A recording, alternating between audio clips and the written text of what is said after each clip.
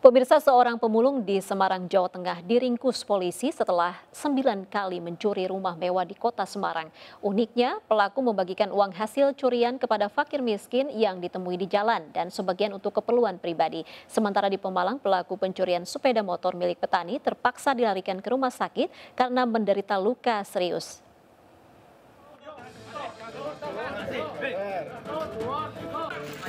Dengan dibopong oleh warga, pelaku pencurian sepeda motor ini dievakuasi ke mobil patroli polisi guna menjalani perawatan medis di rumah sakit.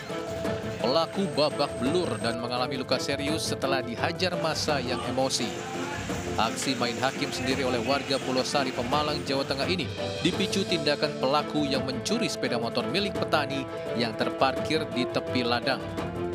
Korban yang melihat motornya dibawa orang tak dikenal bergegas mengejar pelaku dan berhasil menangkapnya. Ya itu kan lari pak, Hmm, lari. Hmm, terus di- anu ke kebunan, Hmm, yang ngeroyok masa ya di kebunan sono pak.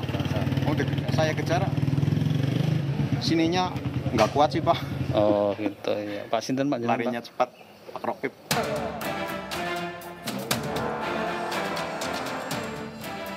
Sementara di Semarang, aparat Polsek Semarang Tengah meringkus Mat Syafi'i, seorang tersangka pembobol sembilan rumah mewah. Pria yang berprofesi sebagai pemulung ini ditangkap usai mencuri di dalam rumah mewah milik Yayu Suwartini di Kelurahan Peleburan Semarang awal Juli lalu. Dari rumah tersebut tersangka membawa kabur perhiasan emas senilai 300 juta rupiah.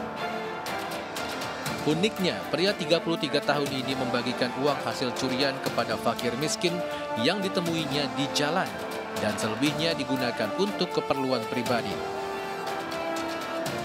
Kemudian dia loncat pagar, loncat pagar, tengok kanan kiri aman, nyukil kaca nako di bawah jendela. Kemudian dia masuk, masuk kebetulan di situ jendela kunci lemari terpasang semua. Ada sepeda, sepeda dikeluarkan dulu, ya, sempat nyukil, dikeluarin langsung masuk lagi, kemudian perhiasan-perhiasan dimasukkan dalam tas kesayangan anaknya ini yang pemilik rumah.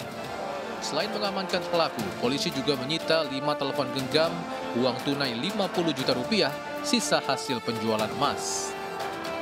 Meski mengesankan bak pahlawan dalam cerita di film layar lebar, perbuatannya mengambil harta orang lain tetaplah sebuah kejahatan dan akan dijerat pasal tentang pencurian dengan pemberatan dan ancaman hukuman 7 tahun penjara.